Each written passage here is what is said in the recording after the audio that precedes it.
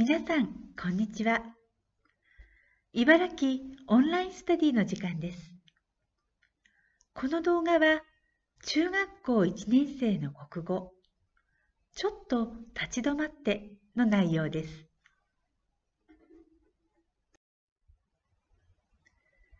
ちょっと立ち止まっては、事実や事柄を正確に伝える説明文にあたります。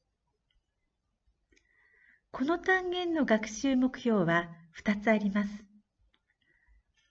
教科書49ページの下のところを見てください。目標の1つ目は、段落同士の関係に着目して文章の構成を捉えるです。二つ目は、筆者の考えをもとに自分のものの見方や考え方を広げるです。学習計画はこのようになります。教科書を読んだ後、寝室漢字をノートに書き、わからない語句を調べておいてください。今日は第2次。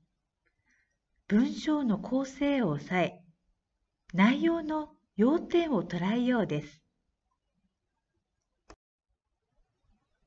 では、まず、文章の構成について押さえましょう。教科書53ページを開いてください。説明的な文章は内容の上で関係のある段落同士が結びついて大きく3つのまとまりで構成されることが多いです。小学校の時は、はじめ、中、終わりという構成でしたね。中学校では、序論、本論、結論と言います。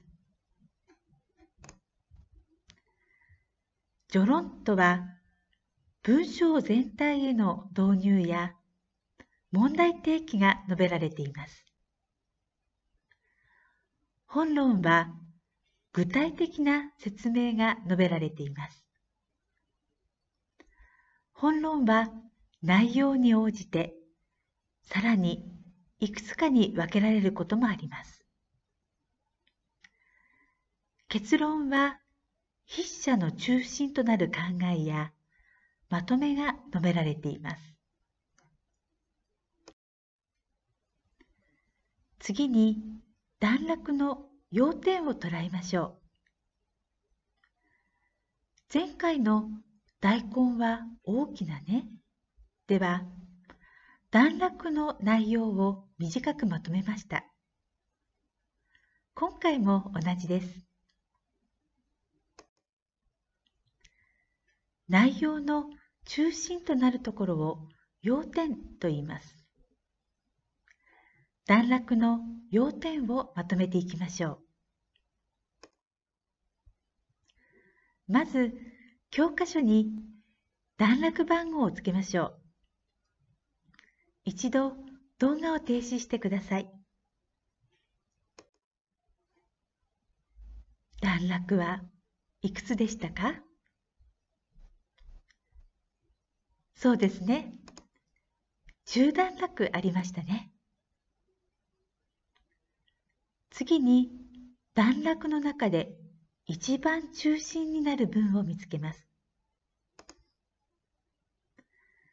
繰り返し出てくる言葉や問い、題名とつながりのある言葉などに気をつけると中心になる文を見つけやすくなりますよ。では、始めましょう。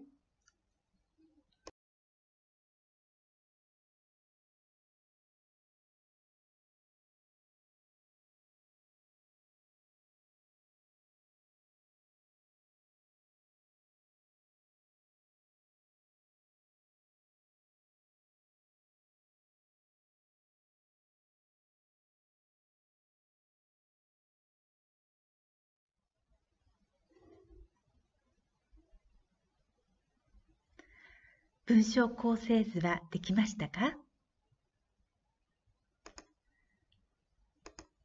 例としてこのようにまとめてみました。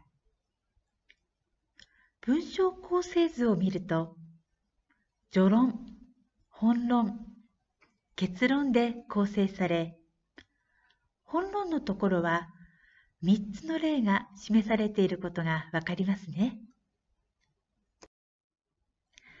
今日は文章の構成を抑え、段落の要点を捉えました。国語の学習は単に文章を読むだけでは終わりません。読んだ後、自分の生活の中に生かすことが生きて働く言葉の力をつけることになります。文章構成図を見ると、筆者が最も伝えたい考えがどこにあるかわかりますね。そうです。結論のところです。皆さんの日常生活の中で筆者の考えを活かせる場面はないでしょうか？